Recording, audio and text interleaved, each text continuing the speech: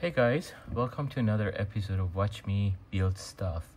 I do kind of free-form design work on this channel.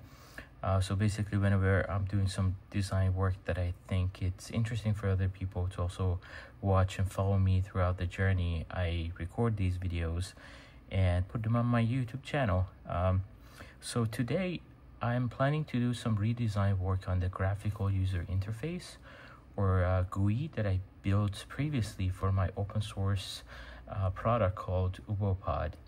If you want to learn more about UboPod, you can see the link in the description. In this video, I'm going to focus mainly on the GUI and some redesign work. So basically the graphical user interface here, I'm going to pull it into the frame so that you can see the GUI. It's a simplified GUI uh, which gives your Raspberry Pi full control uh, meaning that it needs to, uh, the need to remove to plug in a keyboard or monitor and even SSH to Pi to perform cer certain tasks. For example, I can go here to settings, I can go to Wi-Fi, Wi-Fi, add, and then it you, you, you open opens up a web UI to enter a Wi-Fi password or scan a QR code with camera. You can use the GUI to monitor system resources like memory, CPU, disk, and CPU temperature, uh, or application statuses. You can use it for remote access, enable, disable SSH, set up Raspberry Pi Connect or VS Code Tunnel. You can also use it to set up egress or VPN options. So we support Twingate, Pangolin, and a few other options out of the box. You can use it to get IP addresses of different network interfaces on your Raspberry Pi and also see the host name. You can use uh, the GUI to install Docker Compose applications through the web UI, and you can use it for user management to add and delete user accounts or reset password for a specific user account. And since the GUI is 100% customizable and programmable, you can set up to set it up to show uh, certain notifications when something happens on the system it'll show you a notification on it so um, i'm going to talk more later about the gui and the software behind it but for the for brevity and keeping this video short i'm just going to give you an overview here I've received a lot of uh, positive feedback on the on design of this GUI, uh, but I realized that the current form factor and the fact that it's hardly integrated into the enclosure uh, limits its potential. And uh, I've noticed a lot of people uh, use Raspberry Pi inside mini server racks or under different settings and this kind of hard integration does not really work for them. So I want to kind of refactor this this this uh, graphical user interface into standalone module that you can mount it basically on anything. So it kind of like decouples this from from the design of the enclosure. So for example, uh, right now people are mounting, they have these like JetKVMs and they mount them on their uh, mini racks and it shows the IP address and how many clients are connected. You can think of this as like uh, that kind of like control, but it gives you like the full control over your Raspberry Pi. It's not just controlling your KVM. So another reason actually I'm doing redesign is that if you notice this this uh, display is sitting flat on the device. I don't like it because I put this on my desk so I kind of prefer the display to have an angle. So I want it to be like kind of 45 degree angle so that it's it's it's easier to see in the front of the device. So this modularization and decoupling of the GUI can also help me with redesign of future generations of of UboPod. So I'm basically democratizing this kind of GUI. You can actually access this GUI inside your browser. So let me show you this. So if I go to the URL of UboPod, in ubo-uc.local 4321, and um, now you can see the GUI here.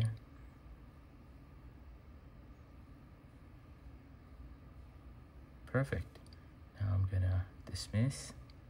So as you can see, these two are kind of in sync. So if I press home button, this will go back. So this will also allow you to use that graphical user interface on your phone. So uh, it's, it's a very versatile graphical user interface. All right, so I'm gonna put this outside of the frame and bring this back and let's talk about how the GUI is implemented in hardware. Um, basically, this is a TFT 240 by 240 uh, resolution screen. It's a very low cost TFT display. And basically this connects with the flex cable to the connector here. And this is basically connected to Raspberry Pi through standard SPI bus. And uh, and then the keypad is a silicone uh, compression mode silicone keypad that goes over these buttons. So I have seven different buttons here. These buttons are connected to this uh, GPIO expander chip which connects to I2C bus. So this I GPIO expander is AW9523 um, you can look up the data sheet. It's a Chinese um, IC and it's a very low cost option for doing GPIO expansion.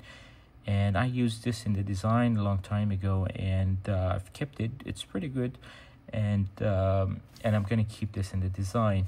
So here the idea is that I wanna do another PCB with a smaller form factor that only holds the display I'm actually not connecting all the pins from the GPIO expander. Maybe I can connect them to some status lights. And uh, so I can connect some RGB LEDs and create some status lights. But the idea here is that to cut the PCB short to kind of this form factor and then uh, have a smaller PCB. Um, but I also want to make connection to Raspberry Pi plug and play. So uh, I did a little bit of research and for this I think a very good option is using EYESPI. So this is uh, EYESPI from Adafruit. So it's basically uh, a uh, FPC flex cable that brings SPI, I2C and some GPIO pins into one 18 pin connector. And uh, basically the idea is that you get the hat from Adafruit uh, and uh, which is basically the breakout for the EYESPI to the FPC and then you connect the other side of the FPC to to the display so uh, it'll be like a standalone module connected to Raspberry Pi through this 18 pin uh, FPC cable so I would rather keep this video kind of at the high level um, and uh, in the next video I'm gonna go into the KiCad design and finish the design in KiCad and then order the PCB and assembly through JLCPCB or maybe PCBWay. Uh, they've actually offered uh, to sponsor my videos. Maybe we can uh, do some, uh, have them build the PCBs. And uh, I also have a small pick and place machine here uh, that I use for prototyping and if you want to, me to see use the the pick and place machine to assemble some of these boards let me know in the comments. I don't know if that's going to be something a lot of people want to see but i can bring it up and, and show some small uh, assembly in the using the machine. And i can also consider doing some hand assembly but if JLCPCB or pcb do all the assembly i would rather really not spend time on it. But if people want to see it i'd be i'd be down to do some hand uh, assembly of these boards. I also want to do a 3d printed enclosure so that it allows people to mount the the GUI on a on a mini rack. So a lot of people may want to use this graphical user interface on it uh, and connect it to a Raspberry Pi that they have inside a mini rack.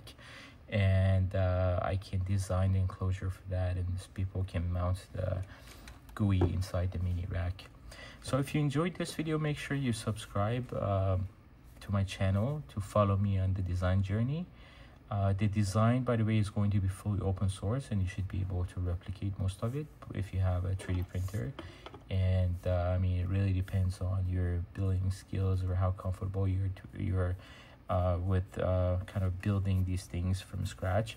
But if there is really good reception on this uh, idea I might consider building a a small batch of these and put it on my Tindie shop. I'm gonna put a link to my Tindie shop also in the video description. Anyways, uh, thanks for watching the video and until next time, this is Ubo Maker Mehrdad.